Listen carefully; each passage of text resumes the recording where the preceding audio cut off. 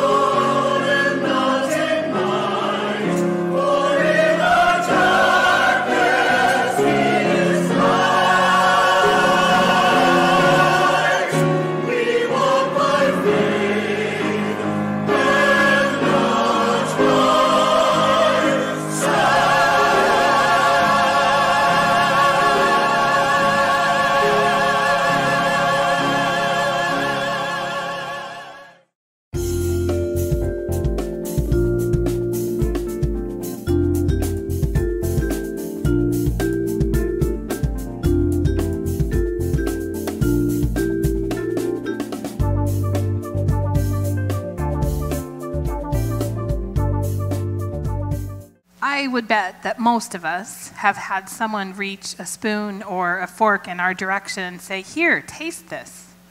Now, depending on who was doing the offering, you might be really happy to taste what was on that spoon. And then there might be others who you would think twice about before taking a taste. Our tastes differ. There are some foods that we think are delicious and others just can't imagine liking, no matter how much garlic or salt or sugar or whipped cream you put into or on top of it. Black olives are one of those things for me. There are things in, that I like that my family doesn't, and things that they like that I don't. Food plays an integral part of our everyday life. We rely on it so that our bodies can function in the ways that they are supposed to. And for many of us, at different times of the year, food plays a part in our relationships, from recipes that are passed down from generation to generation, to traditional meals that you have at holidays. Food can play a role in our relationships with other people. In her book, Tasting Grace, television and home chef and author Melissa d'Arabian shares story from, stories from her life and her journey to understanding food not only as a gift from God, but as an invitation into a deeper relationship with God. In this series, Tasting Grace, we're looking at how we can experience the goodness of God through our own experiences of food in relation to community, in relation to Scripture, in relation to how we know and have experienced God at work in our lives. We've talked about authenticity and last week about delight. And if you missed either of those, you can go back and watch them. And today we're talking about hospitality. So, what comes to mind when you think about hospitality? Maybe it's a beautifully set table or a perfectly decorated house. Maybe you think of a host or hostess who welcomes you at the door dressed impeccably and invites you into a house that's full of delicious smells. And you notice that there's not a toy or a piece of laundry or a speck of dust in sight. For some of you, just mentioning hospitality makes you want to run and hide under a blanket because the decorating and the cooking and the expectation of perfection aren't your gifts and just the idea frightens and overwhelms you. But don't shut worship off just yet. Today, we're not talking about that kind of hospitality. We have Pinterest and other things to help us in those areas. Today, we're talking about biblical hospitality. And Melissa puts it this way Biblical hospitality is about service, not performance. So, what does society say about hospitality? Well, it all starts out innocently enough, right? We want to have people over, we have a heart of service, and we want to welcome them into our homes. But somewhere along the line, we go down that slippery slope and we're hearing society say, impress your friends with this really easy recipe, or make your friends think that you spent hours in the kitchen when you really only spent 15 minutes. In other words, society is saying, impress and perform for your friends. And that is hospitality. What does God say about hospitality? Well, God says biblical hospitality is about love of strangers and it's about service. God says that we invite in people so that we leave space for God to join us. So, how can we RSVP to that invitation? Well, I've got a couple of ideas. One is think about your language around hospitality when you're hosting people or thinking about hosting people, probably in your front yard right now. Is your language the language of separation and impressing people? Is your language um, thinking about company worthy dishes or dazzling your friends or impressing them? Is it the language of creating a small pedestal where people come into your home impressed by you, watching the performance? Or is it the language of unifying and bringing people together? The second challenge, I would say, as part of this RSVP, is to think about who we are including in our hospitality. Hospitality is love of strangers. We saw that with Abraham in Genesis. So it's not just about inviting our friends over after church on a Sunday. That's part of it. But my challenge to you is to increase the scope of who it is that we're including in hospitality. Biblical hospitality is about loving others through serving them. It's about sharing how you have experienced Jesus in your life with others in a way that invites them to maybe want to try some more. It's about sharing grace, the unearned and perfect and beautiful love that God has for you, with people who might not yet know that God loves them. When you taste something that's new to you and you find it to be delicious, do you ever say, Oh, thank you for that small taste. I've had enough. I'll go now? No. Tasting something delicious for us, especially the first time, makes us want more. And biblical hospitality is a way for us to offer goodness to others through our own experience, as a way to maybe open the door for them to know that there's more and that there is some for them. It's helping someone else to see that our lives don't have to be perfect or perfectly put together or all cleaned up to earn God's love. God just loves us. God loves you. Biblical hospitality opens a way for people to understand that they are invited to feel welcome and comfortable, that someone cares enough about them to offer help or a meal or a glass of water.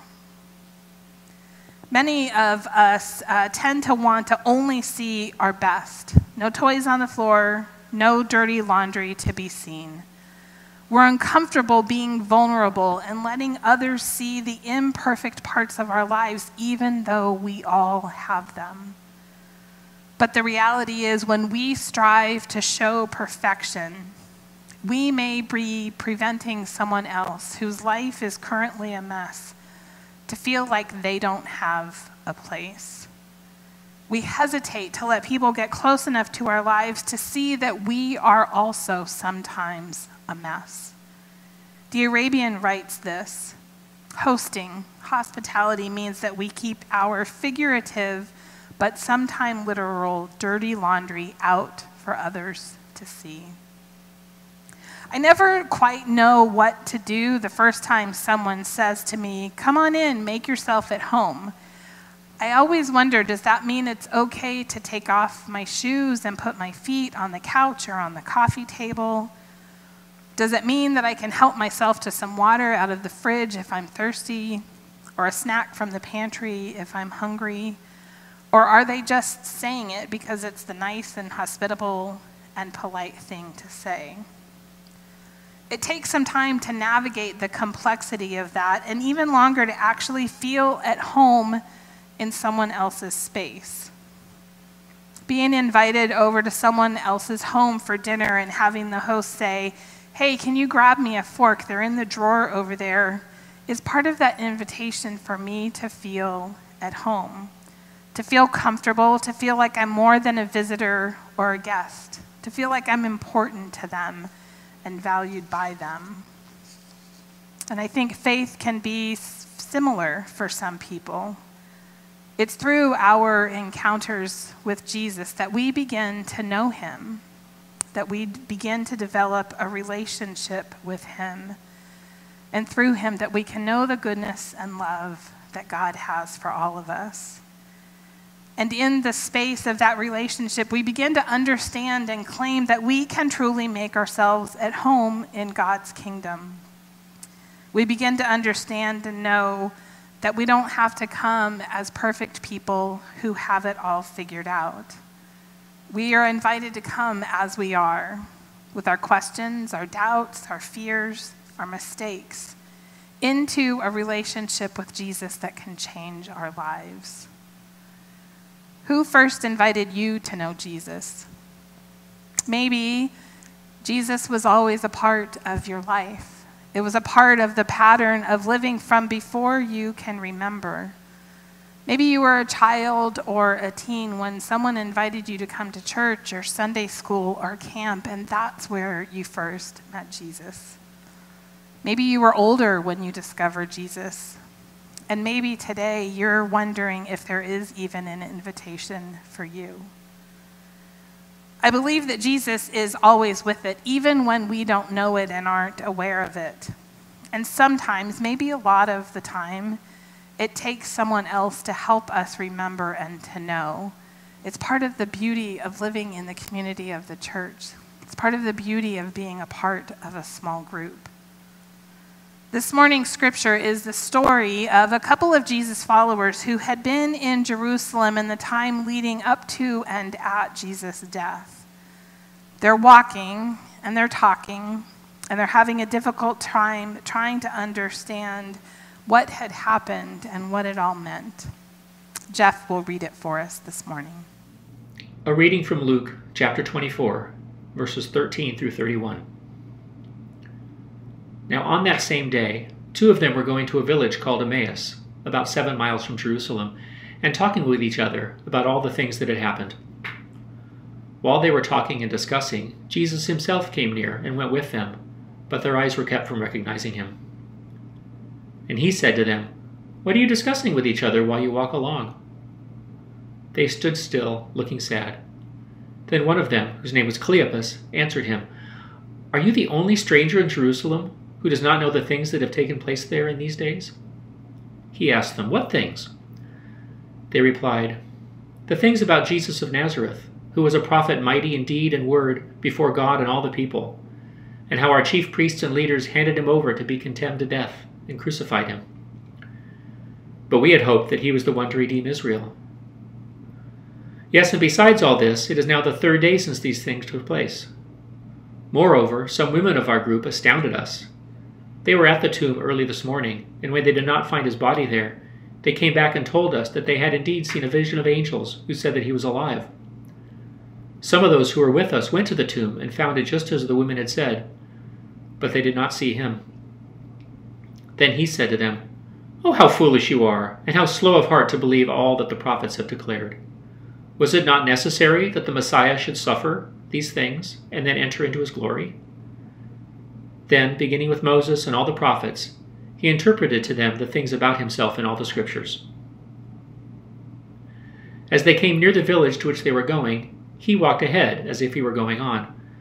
But they urged him strongly, saying, Stay with us, because it's almost evening, and the day is now nearly over. So he went in to stay with them. When he was at the table with them, he took bread, blessed and broke it, and gave it to them. Then their eyes were opened and they recognized him. And he vanished from their sight. So reads the word of God for the people of God. Thanks be to God. Luke tells us that Cleopas and the other, we don't ever know what the other's name is, are traveling from Jerusalem. Perhaps they're traveling back to their hometown. One commentator describes this as walking away from the disaster of Good Friday. The worst thing possible had happened. Jesus had died, and with his death, their hopes for the future were uncertain. I can just picture them walking side by side on a dusty road, not in any hurry to get where they were going, heads hung low, voices soft. And as they're walking, they're joined by another. Luke says they were talking with each other about everything that had happened. As they talked and discussed these things with each other, Jesus himself came up and walked along with them, but they were kept from recognizing him. We can imagine that they were replaying what had happened in the previous days because we do the same thing. When something happens, when something big happens, we tell and retell the story trying, hoping that there is some sense to be made of it. And if we tell it and tell it again, that missing piece might fall into place that will make it okay. And it's into this moment, a moment of great despair for these two followers, that Jesus enters the picture as a stranger who simply joins them on the road.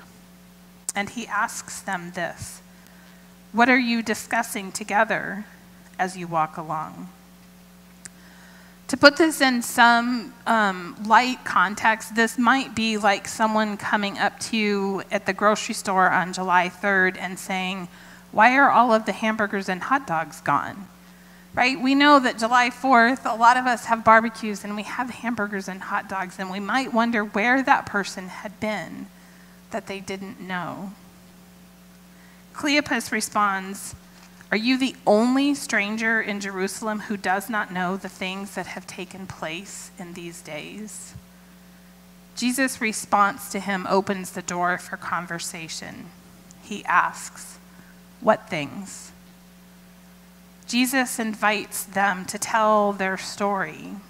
And what they share is their story of who they had known Jesus to be. Starting at verse 19, it says this. About Jesus of Nazareth, they replied. He was a prophet, powerful in word and deed before God and all the people. The chief priests and our rulers handed him over to be sentenced to death, and they crucified him. But we had hoped that he was the one who was going to redeem Israel. And what is more, it is the third day since all this took place. In addition, some of our women amazed us. They went to the tomb early this morning but didn't find his body. They came and told us that they had seen a vision of angels who said he was alive. Then some of our companions went to the tomb and found it just as the woman had said, but him they did not see. Perhaps it's easy for us to see that they had all of the pieces. They knew who Jesus was. They had had hope in him. The tomb was empty, and there were angels who said he was alive. Maybe it's their despair that kept them from believing that that was true. How often is that us? How often does our faith tell us what is true, but somewhere in the details we get sidetracked and begin to doubt? How could Jesus be all that they hoped for themselves, their people, and their nation if he was dead? At this point in the story, Jesus' role takes a turn. He's no longer simply a stranger and walking companion. He begins to teach, urging them to remember what they had been taught from the scriptures. And he's a little bothered by the lack of their belief in what they should have known. The message version puts it this way Then he said to them, So thick headed, so slow hearted, why can't you simply believe all that the prophets said? Don't you see that these things had to happen? That the Messiah had to suffer and only then enter into his glory? Then he started at the beginning with the book of Moses and went on through all the prophets, pointing out everything in the scriptures that referred to him. The words of this stranger were the words of Scripture. Even though they didn't know yet that it was Jesus walking with them, they knew the stories. And maybe they began to see that what had happened on Good Friday and in the days since through the lens of the Scripture. Maybe they began to wonder if hope still existed. As the disciples arrive at their destination, Jesus um, acts as if he's going to continue on. But they invite him to come in and spend the night with them as their guest. Now, this is more than a polite invitation. For the people of ancient Israel, understanding themselves as strangers and sojourners, with a responsibility to care for vulnerable strangers in their midst was what it meant to be a part of the people of God. For us today, we think of hospitality as something extended to others. Maybe we think about it as preparation and decoration and perfection. We think of it as paying attention to the details that will make someone else feel comfortable. We think of the hospitality industry, hotels and resorts and restaurants. But for most of the history of the church, hospitality, the caring for and serving others, meant response to the physical needs of strangers for food and shelter and protection. It meant offering someone worth and dignity. It equalized the differences over a meal and a place to sleep.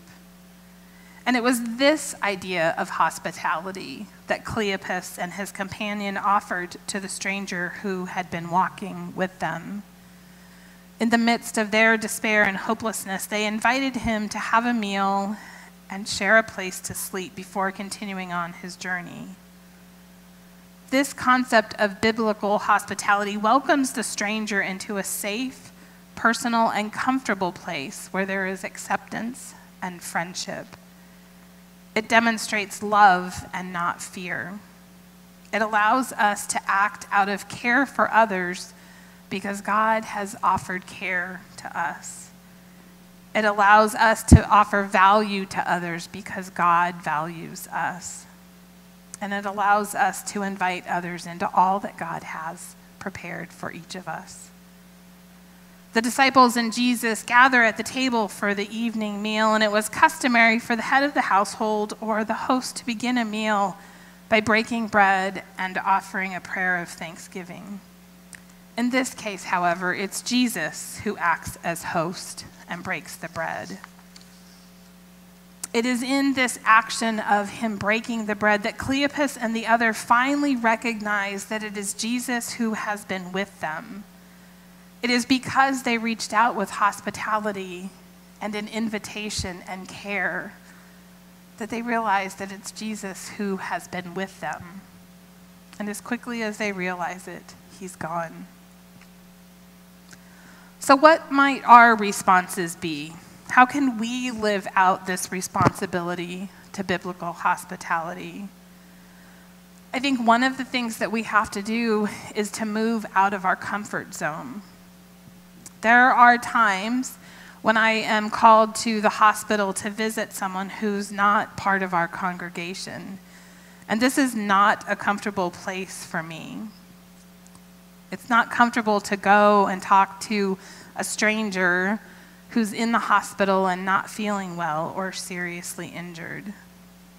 And there's one particular family couple who I will always remember. They were an older couple who were in town for a graduation of one of their grandchildren, and they were in a horrible car accident, and she was very seriously injured. They were very active Methodist uh, members of a Methodist church in Northern California, and while not part of this congregation, we were united in our Methodism, and so they reached out and said, Can come, someone come and see her and pray with us? I went to the ICU that first time to see her, thinking this would be the only time that I would visit them. But there were a series of procedures and surgery. She was in the hospital for a number of weeks and then in rehab. Um, and then they moved here temporarily while she recovered. And so we exchanged phone numbers. And I said to Frank, call me or text me if you need me. That one step out of my comfort zone led to multiple visits and phone calls and even letters when they returned home several months later. That experience may have brought them some comfort and some connection to their faith and some feeling that they weren't alone. But it strengthened my faith. And it was an example of Christian community to their family who aren't connected to a faith community. It was an example of God's love shared in a practical way. I think we can also extend hospitality to a stranger. Now, I don't necessarily mean to invite a stranger over for dinner, but it might mean providing and serving dinner for the homeless clients at Bridge to Home. Due to COVID, Family Promise has not been hosting families for most of this year but then are now in a position where the families have a home and they need help with supplies and groceries so that they can prepare a meal and sometimes to provide a dinner. And that might be a way that you can extend hospitality. It might mean sharing your faith, some way that God has helped you. Your story may be more powerful for someone than you can even know. I think about my friends who are in recovery groups, um, recovery programs, and their willingness to share their most vulnerable and painful stories with others who are struggling is a powerful way to offer hope. One of the primary ways that the gospel spread in the early days of the church was this different kind of hospitality that Christians practiced. Ancient Romans typically practiced hospitality for important people. They practiced hospitality for those who could give them something in return. But the Christians became noted for extending hospitality to all even to those who would be considered the most unworthy. And this was a significant part of how the church developed a reputation of love. That's still our call today to love people. I think the third thing we can do is to expect to encounter Jesus in the unknown. The disciples who were walking on that dusty road that day had no idea what was going to happen. They were so caught up in what was going on around them that they missed what and who was right there with them. I don't know that we're much different. I think that Jesus is always close to us. And I also think that we also, I also think that we re- don't always realize how close he is. We get so wrapped up in our own stuff that we don't see him. So maybe our challenge is to live expecting to see Jesus among us, to watch and to listen for him and those around us, and to be ready to invite him to dinner or offer him a glass of water, to invite him to join you for online worship, to invite the stranger into a small group. It's watching for the places where people are different from us and striking up a conversation. Now, we're not able to be around people like we normally are, so we're going to need to be a little creative with this this week. But what I know about God assures me that you will encounter the stranger somehow, some way, somewhere this week. The call of biblical hospitality is to reach out from the love that God has given to you to serve them and to care for them and to invite them to understand that they have a place in God's kingdom. To reach out with God's goodness and love so that they might know that they are welcomed. Let us pray. God, we are grateful for and uh, thankful for the love that you have for us and the care that you show for us. We are grateful for uh, the opportunities that we have to serve your people.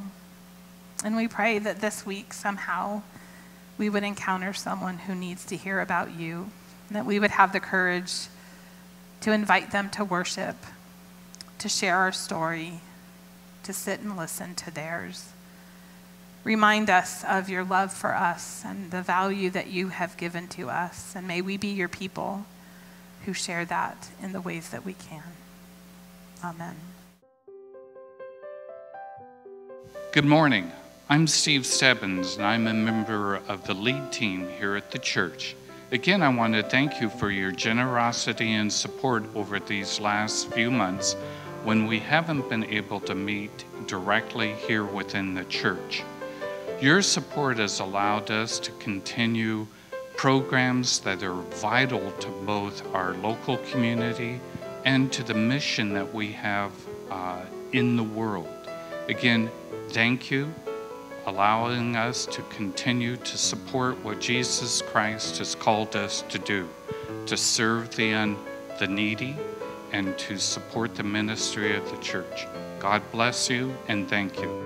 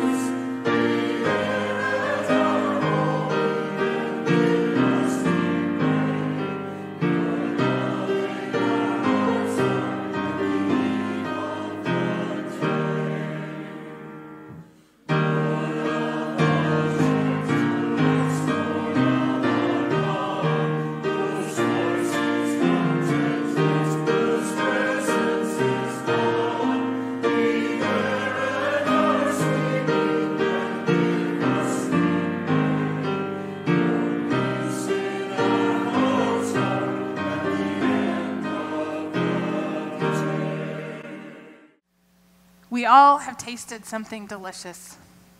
We've all tasted something delicious that we wanted more of. And I challenge us this week to look at our faith and to look at our relationship with Jesus in that same way. If you've had a relationship with Jesus and you know of God's love through his life and ministry, then you know how good it is. So I challenge us this week to find someone, somehow, some way, be really creative about it. Someone who needs to hear that they are loved and valued.